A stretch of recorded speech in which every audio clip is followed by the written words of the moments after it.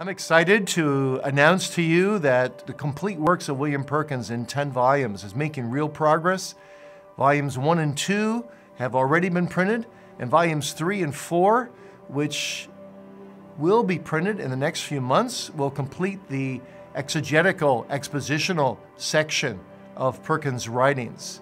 And then we'll move into sometime next year in 2017, volumes 5 through 7 of William Perkins, which deals with his doctrinal treatises about predestination, about assurance of faith, and so on, and then move on in 2018 and 19 into volumes 8 through 10, his practical and uh, apologetic volumes to complete the series. And we really look forward to having the complete works of the father of Puritanism available for the first time since the 17th century and pray that these 10 volumes will not only be of great edification